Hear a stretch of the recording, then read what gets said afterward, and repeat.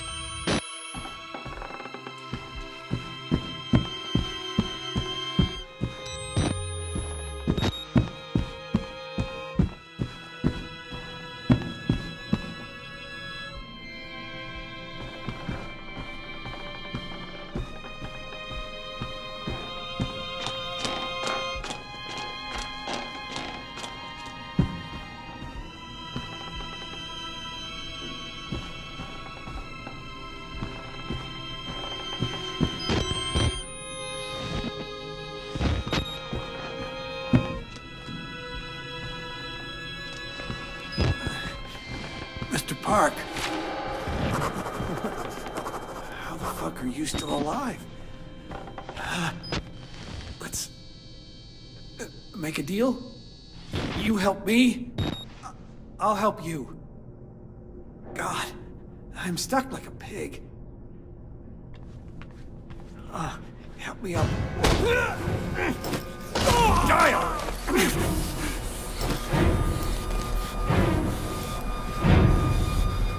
one can know! No one!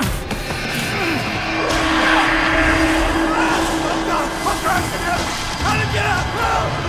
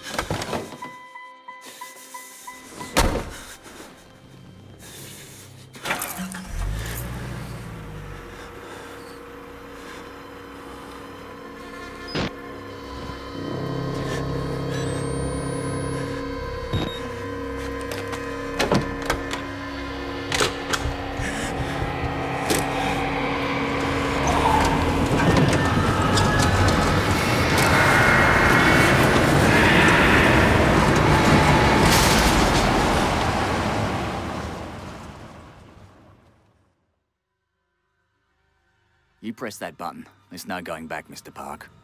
There's enough hard evidence in that video file to make a world of shit for our friends at Murkoff. You got out of Mount Massive alive, and we've done everything in our power to cover your tracks. But our enemies are twitching and malicious corporate paranoics with resources you're too moral to imagine. You won't be the only target. Anyone you care about, your wife, your child, they'll do nothing to Murkoff but ways to hurt you. I need you to understand the bridge you're crossing here. You will do irrevocable damage to the company. You might even get close to something like justice. But once you click upload, your life is over. Everyone you love is fucked. But it's the right thing to do. Is hurting Murkoff worth that much to you?